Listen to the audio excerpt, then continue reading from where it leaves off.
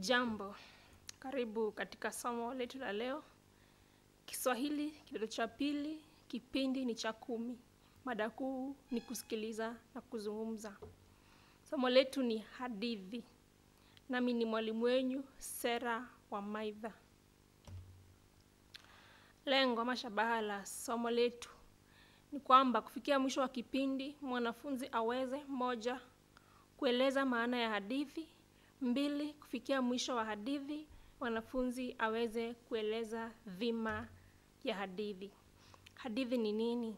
Hadithi ni masimulizi kuhusu mambo yaliyotukia kitambo ambayo hushirikisha watu, mazimwi, majitu au wanyama kama wahusika wake. Kwa hivyo ni masimulizi kuhusu mambo yaliyotukia kitambo. Inashirikisha watu, mazimwi, majitu au wanyama kama wahusika wake. Twende kwa sifa za hadithi. Sifa za hadithi. Sifa za hadithi. Moja ni kwamba huwa na wahusika aina mbalimbali. mbali. Huwa na wahusika aina mbalimbali. Yaweza kuwa ni wanyama, binadamu, mizimu eh, na kadhalika. Huwa na wahusika aina mbalimbali. Ya pili, hueleza matukio kwa mpangilio wa moja kwa moja.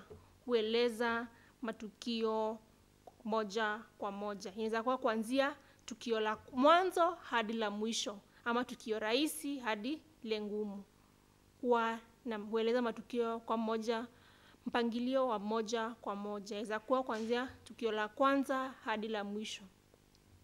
Sifa nyingine ni kwamba husimulia matukio ya kweli au ya kubuni yenye maadili. Husimulia matukio ya kweli au ya kubuni yenye maadili. Sifa nyingine ni kuwa huwa na mahali pa maalum pa kutambia. Huwa na mahali maalum pa kutambia. Yaweza kuwa ni chumbani ama mahali nje. Mm.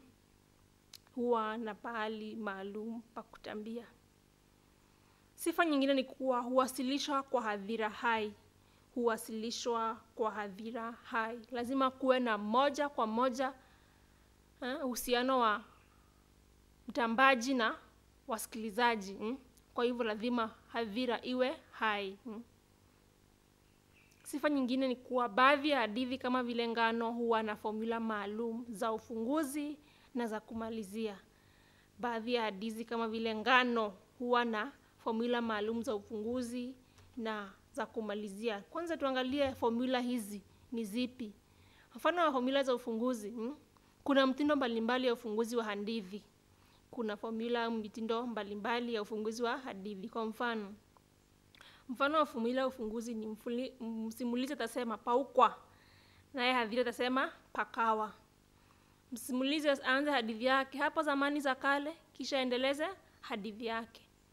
Au msimulizi anasema paukwa, hadhira nayo ijibu pakawa. Msimulizi sahani, hadhira ya mchele, kisha msimulizi aendelee na hadithi yake. Vile vile kuna fomula nyingine. Msimulizi anasema hadithi hadithi, nayo hadhira iseme hadithi njoo. Msimulizi aseme hadithi hadithi, hadhira iseme hapo zamani za kale. Hmm? Yaani msimulizi aseme hadithi hadithi, hadhira iseme hadithi njoo. Msimulizi aendeleza hadithi yake hapo zamani za kale. Samahani. Vile vile kuna fomula ya kumalizia. Kuna aina kadhaa za kumalizia hadithi kama zifuatazo. Hmm? Msimulizi atasimulia hadithi yake, kisha akimalizia aseme hadithi yangu inaishia hapo. Vile vile anaweza malizia, anaweza peana hadithi yake, akimalizia aseme na wakaishi raha mstarehe. Pia anaweza sema uh, simulia hadithi yake amalizie na hiyo ndiyo hadithi yangu. Kwa hivyo hiyo ni mfano ya formula ya kuanzia na formula ya kumalizia. Twende kwa dhima ya hadithi. Dhima ya hadithi ama umuhimu wa hadithi. Ya kwanza ni kwanza huielekeza jamii. Huielekeza jamii. Muhimu mwingine ni kuwa hukuza uwezo wa kukumbuka. Hukuza uwezo wa kukumbuka. Vilevile vile umuhimu mwingine wa hadithi ni kuwa huonya na hushauri jamii. Kama ni vinye ni tabia hasi inaonya jamii. Hmm? huonya na hushauri jamii. Dhima nyingine ya hadithi ni kuwa huhifadhi na kuiendeleza historia ya jamii. Huhifadhi na kuiendeleza historia ya jamii, kwa sababu hadithi hupitishwa kutoka jamii moja hadi nyingine, hivyo huhifadhi na kuiendeleza historia ya jamii. Dhima nyingine ya hadithi ni kwamba huhifadhi utamaduni wa jamii. Huhifadhi utamaduni wa jamii. Dhima nyingine hadithi ni kuwa ni kitambulisho cha jamii. Kila jamii ina hadithi zake, kwa hivyo ni kitambulisho cha jamii. Pia hukuza ujasiri. Hmm? Mtambaji anaposimulia hadithi, anakuza ujasiri wake wa kuwasimulia watu, kusimama mbele ya watu, hivyo hukuza ujasiri. Dhima nyingine ya lugha ya hadithi, samahani, ni kuwa huliwaza na kuburudisha. Kama vile baada ya kazi, watu wanapopumzika, wakipewa hadithi inaliwaza na kuwaburudisha.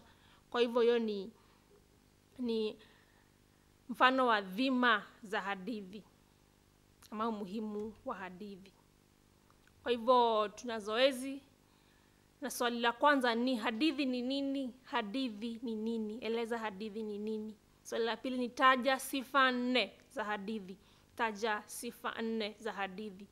Swali la tatu ni kwamba eleza dhima ya hadithi. Eleza dhima ya hadithi.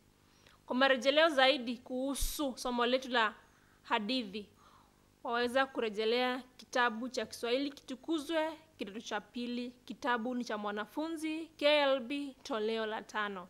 Vilevile katika fani ya fasihi simulizi. Kwa marejeleo, samahani kwa haya na mengi, inatutumia ujumbe, mapendekezo au swali kwenye nambari iliyoko kwenye runinga. Vilevile unaweza kupata kwenye mtandao Runinga TV. Shukran kwa kujiunga nasi.